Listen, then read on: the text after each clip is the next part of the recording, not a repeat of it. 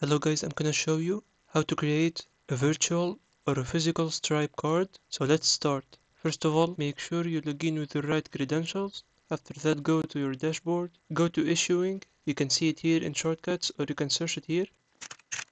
Click it. As you can see, click get started. After that, go to card holders. Click create card holder. Fill the fields with your correct information, your legal name, your billing address. Make sure to put your contact information like your email, your phone, and make sure to upload legal documents. After that, click create card holder. As you can see here, we have successfully created our card holder and this is its ID. Go back to issuing. Now, instead of card holders, go to cards and click create card. Select the card holder we just created and then you can select either virtual or physical cards. I'm gonna select virtual and then click activate card, click create. As you can see, card created successfully. This is your virtual card and this is the card number. You can view it here.